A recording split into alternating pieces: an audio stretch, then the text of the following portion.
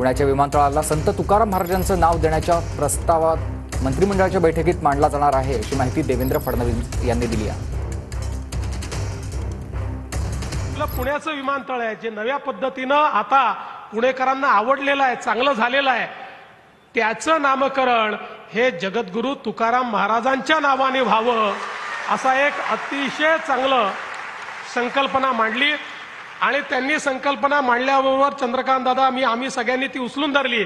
मी स्वतः तात्काळ त्या संदर्भातली सगळी प्रक्रिया पूर्ण केली आणि माननीय मुख्यमंत्र्यांची चर्चा करून येत्या कॅबिनेटला आम्ही ते मांडणार आहोत.